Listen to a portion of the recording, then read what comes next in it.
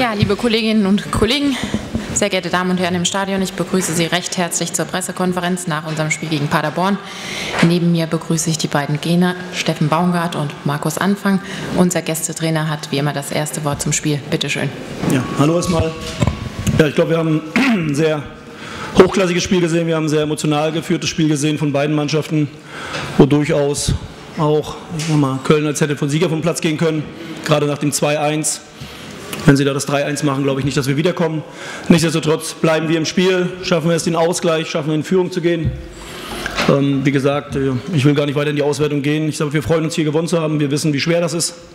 Und ähm, von der Warte freuen wir uns, dass wir mit einer sehr guten Leistung über 90 Minuten es immer wieder geschafft haben, auch ja, Druck zu machen. Wir wussten um die Stärke von Köln, gerade auch wie sie sich von hinten rausgespielt haben. Ähm, da hätte uns einer oder andere auch schief gehen können. Wie gesagt, wir konnten unser Spiel durchsetzen, konnten als Sieger vom Platz gehen und darüber freuen wir uns. Dankeschön. Vielen Dank. Markus, wie hast das, du das Spiel heute gesehen? Ja, erstmal hallo. Gratulation an Paderborn zum Sieg heute. Ich glaube, wir haben äh, genau das Spiel gesehen, was wir auch erwartet haben. Es war klar, dass Paderborn uns äh, versucht unter, unter Druck zu setzen. Wir haben wir haben es schon im Training immer wieder gehabt, wo wir gesagt haben, es wird ein Umschaltspiel permanent, wir müssen nachschieben, wir müssen, wir müssen versuchen, die Räume eng zu machen. Das ist uns dann in der ersten Halbzeit auch nicht so wirklich gelungen, ohne dass wir jetzt zwangsläufig schlechter waren. Ganz im Gegenteil, wir hatten ganz viele Aktionen nach vorne und müssen da auch, glaube ich, äh, das eine oder andere Tor wesentlich mehr machen. Und habe auch ja, so Spielsituationen gehabt, wo du sagst, normalerweise sind die Spieler dafür prädestiniert, in solche Situationen reinzukommen, aber wir haben es halt nicht bis zum Abschluss durchgespielt und deswegen haben wir uns auch äh, nicht diesen Vorsprung erspielt in der ersten Halbzeit. In der zweiten Halbzeit gehen wir dann 2-1 in Führung und müssen eigentlich das 3-1 nachlegen. Und das haben wir halt nicht geschafft. Und Paderborn war halt permanent auch immer wieder in, mit Konteraktionen immer wieder gefährlich und schießen dann das 2-2. Äh, und ja, dann versuchst du natürlich weiterhin auf, auf Sieg zu spielen, dann bekommst du einen Elfmeter gegen dich und dann steht es 3-2 und dann versuchst du das Spiel nochmal zu drehen. Wir haben dann nochmal noch mal alles riskiert, haben nochmal ähm, noch Stürmer eingewechselt, vorne, vorne reingestellt, haben von hinten komplett aufgelöst und wollten dann unbedingt den Ausgleichstreffer, dann machst du den Ausgleichstreffer und ja gut, dann gerätst du in Unterzahl, dann war, war schon schwierig, muss man schon sagen. Das ist ein kleiner Knackpunkt gewesen, dass du eine gelb-rote Karte bekommen hast in der Situation.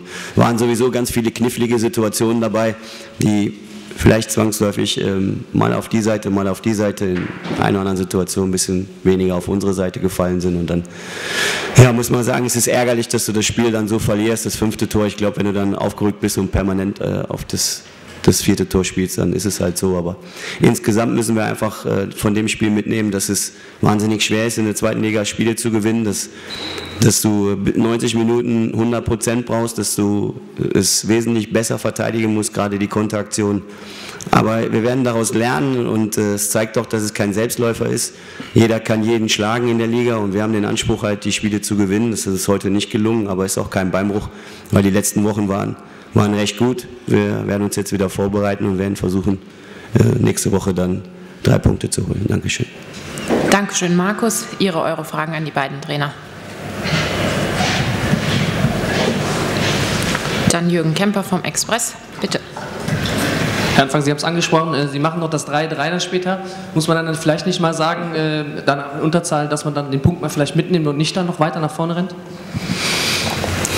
Ich glaube gar nicht, dass wir so wahnsinnig nach vorne gerannt sind in der Situation, wo wir dann äh, das Gegentor bekommen haben. Aber äh, es ist halt unser Anspruch, Spiele zu gewinnen, das ist auch klar. Aber wir werden das jetzt nicht äh, bis aufs Verderb betreiben. Wir werden schon versuchen, das auch irgendwo kontrolliert zu machen. Aber gut, es ist natürlich wahnsinnig schwierig. Die Jungs, die wollen jedes Spiel gewinnen. Wir, wir haben das auch ausgegeben. Und dann läufst du in so eine Situation rein. Das ist natürlich ärgerlich. Aber äh, war jetzt nicht so, dass es aufgrund dessen, weil wir das Spiel gewinnen wollten, äh, dass wir das Spiel jetzt verloren haben. Es war klassisch auch Zweikampfsituationen, die wir nicht so gelöst haben, wie wir sie eigentlich lösen können. Dankeschön. Weitere Fragen? Holger Schmidt von der DPA. Herr Anfang, äh, Sie predigen Offensivfußball, das ist für die neutralen Zuschauer auch super anzusehen, aber jetzt 5 zu 3, 3 zu 5, ist das vielleicht sogar Ihnen ein bisschen zu viel Spektakel? Äh, Wäre es Ihnen lieber, wenn das mal ein bisschen gemächlicher alles über die Bühne gehen würde? Ja, ich sag's mal so, wir ähm, haben nicht davon gesprochen, dass wir Spektakelfußball machen und Gegentore haben wollen. Wir wollen auch keinen Spektakelfußball liefern, sondern wir wollen schon kontrolliert äh, unser Spiel durchbringen und äh, dominant sein. Das wird dann so interpretiert, weil wir halt versuchen, äh, offensive Lösungen zu finden.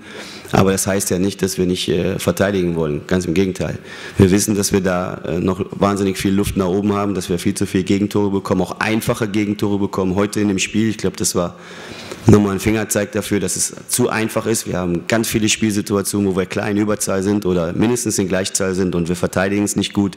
Also es geht nicht darum, ähm, viele Tore zu, äh, zu bekommen und viele Tore zu schießen, sondern es geht darum, ein gutes Spiel zu machen und sich am Ende zu belohnen. Und mir würde auch ein 1-0 reichen. Dankeschön.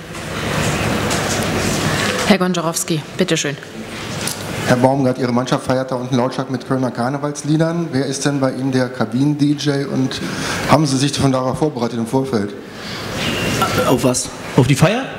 Nö, ich glaube nicht, dass du hierher fährst und irgendwas vorbereitest. Also wir wollten hier ein gutes Spiel machen, äh, aber glauben Sie mir, die Jungs sind auf alles vorbereitet. Die wären noch gut vorbereitet gewesen, wenn wir heute ja, verloren hätten, was ja auch hätte passieren können. Also wie gesagt, wir wollten hier eine gute Leistung bringen.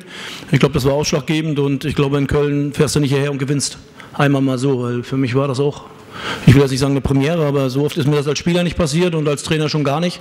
Und jetzt freuen sich die Jungs, aber ich glaube nicht, dass wir hier irgendwelche großen Ausartungen haben, sondern die Jungs freuen sich jetzt und das ist dann nachher auch gleich wieder vorbei. Danke. Weitere Fragen? Wenn das nicht der Fall ist, dann sage ich herzlichen Dank und einen schönen Nachmittag.